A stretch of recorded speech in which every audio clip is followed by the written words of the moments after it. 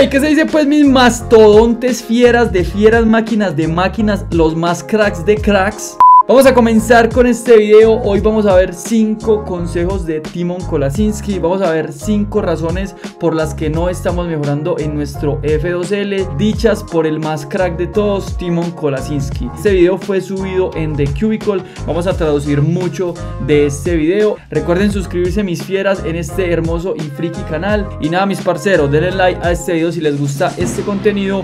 Comencemos que se armen los pinches chingadazos.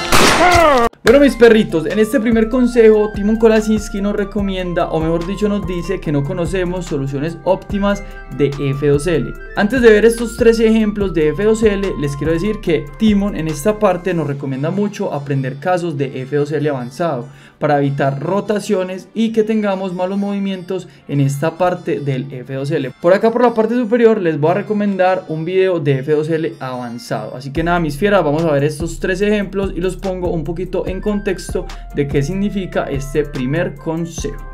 Acá tenemos nuestro primer caso de F2L.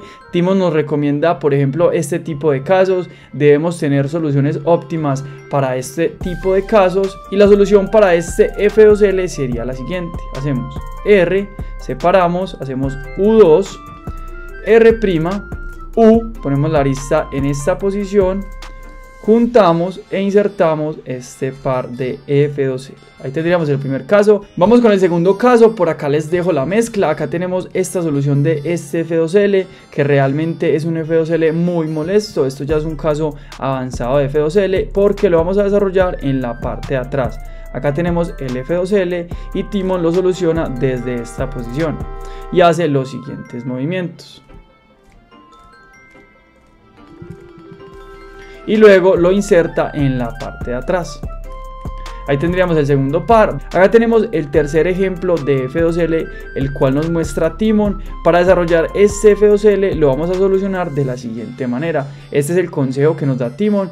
Debemos solucionar este F2L de una manera óptima. Hacemos U', F', R, lo juntamos acá en la parte de arriba, U, R', U' y bajamos este par para juntarlo con estas dos piezas. R', F y R. Y ahí tendríamos el F2L para este segundo consejo, Timon nos recomienda un submétodo llamado Keyhole. Ya hemos hablado en este canal sobre este submétodo, se los dejo por acá en recomendados. Hablemos de que Keyhole es un submétodo que nos ayuda mucho a mejorar la parte del F2L.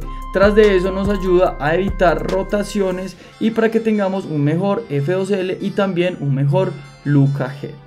Bueno, acá tenemos este caso de Keyhole, el cual utiliza Timon para decirnos que debemos aprender este submétodo. Por acá por la parte superior izquierda les dejo la mezcla y por acá les dejo la solución. Como podemos observar, aquí falta la esquina, pero está la arista bien.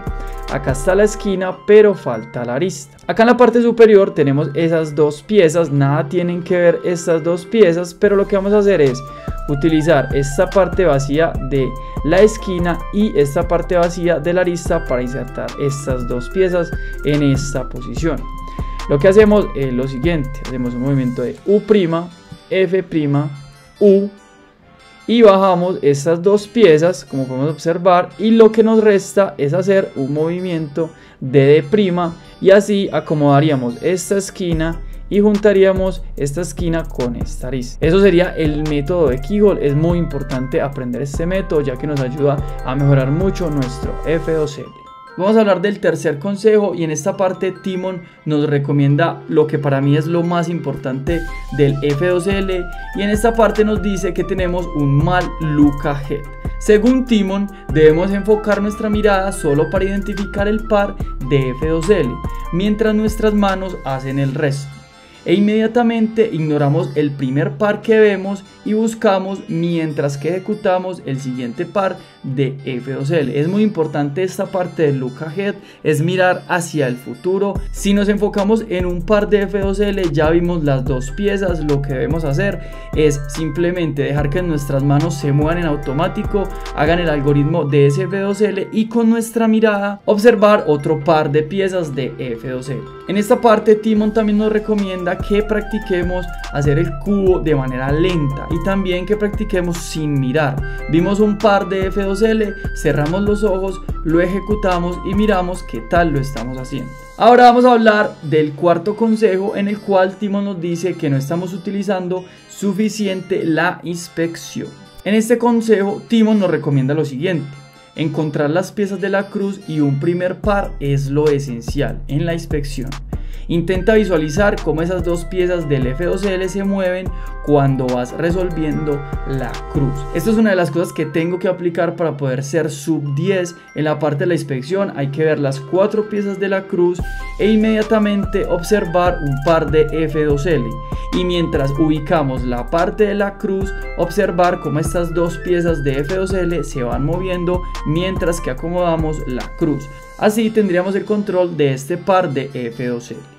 Ahora hablemos del quinto consejo. En este quinto consejo, Timon nos habla de una mala técnica y con esto se refiere a los finger tricks. En esta parte, Timon Kolasinski nos recomienda lo siguiente. Tu técnica puede siempre ser mejorada. Para ello, haz solves girando lento el cubo, practicando hasta llegar a hacerlo rápido. Es muy importante armar el cubo sin tomarse el tiempo. Esto nos va a ayudar a que observemos cómo nuestras piezas se van moviendo, cómo las vamos ejecutando con nuestros finger tricks y es muy importante que no hagamos movimientos con un solo dedo cuando podemos utilizar dos dedos en estos movimientos esta es una de las partes donde muchos fallamos, donde nos quedamos en el sub 15, en el sub 20 y es que debemos mejorar mucho nuestros finger tricks. La mejor manera para mejorar esto es resolver el cubo lentamente, con calma tomándonos un cafecito, escuchando música lofi. Y nada, mis fieras, espero les haya gustado mucho este video. Les recomiendo mucho estos consejos del gran maestro Timon Kolasinski, este polaco